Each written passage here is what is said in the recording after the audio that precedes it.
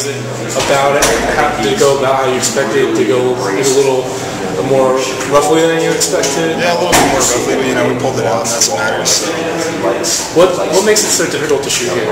Shoot, um, just the background, you know, the backstop. It's, it's farther out, and it's a little bit harder, but you know, drop it. That's what matters. You seem to really get a rhythm there in the fourth quarter, though. What was kind of after you hit that first three pointer in the fourth? What was kind of going through your mind? You know, I got confidence, and uh, you know, I, I've hit threes in the beginning of the season. Kind of had a rough patch, and you know, it felt like at the beginning of the season again. I got to go. Defensively, I mean, how how did you feel like uh, you were able to stop Ron this guy he was trying to do?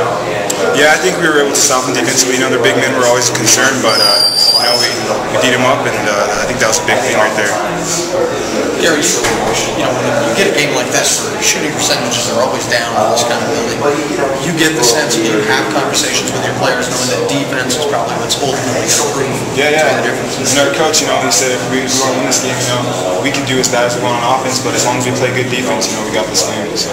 What has to change for you guys offensively? Is it just simply knocking down shots, or are there other things you want to do in the offense? We want to get inside. That's number one always. And then, uh, you know, once we get inside, then it's Is it a simple matter that that's what gets this team in rhythm as well, offensively? And how hard was it to get the rhythm offensively? You know, it seemed to be harder in the beginning than 15 points. And uh, yeah, I think getting inside first helped a lot. Your, your team ends up, you know, big momentum plays were made by Sky View in the mid to late moments in the fourth quarter with some three pointers. But you guys seem to have the perfect amount of composure for every one of those situations. Is that what you guys have been building toward? Yeah, well, we've had a lot of big games this year, so you know we were ready for it. And, uh, we just uh, you know played like we have before.